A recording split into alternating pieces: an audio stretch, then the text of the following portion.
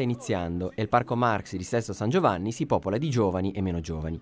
Gli anziani si riparano all'ombra dei pioppi, mentre i ragazzi sfidano il caldo e la noia giocando a calcio o a pallacanestro. O almeno ci provano, dato che i campi sportivi all'interno del parco mostrano alcune carenze. A partire dalla mancanza di reti, un grosso problema per chi vuole giocare a pallavolo, che i ragazzi hanno superato con una soluzione per così dire casalinga. Portano le reti a loro stessi e cominciano a giocare. Quindi si portano le reti da casa per giocare a pallavolo? Sì, sì, cioè, loro stessi cominciano a giocare.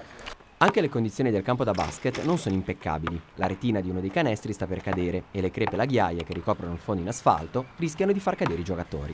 E pensare che a poche decine di metri di distanza, in un'area privata, c'è un perfetto campo da street basket, riservato però soltanto ai ragazzi del condominio accanto. Nonostante questi problemi, il Parco Marx offre svariati servizi ai suoi visitatori. Aree giochi per bambini, uno spazio riservato ai cani e un percorso intera battuta dedicato al jogging.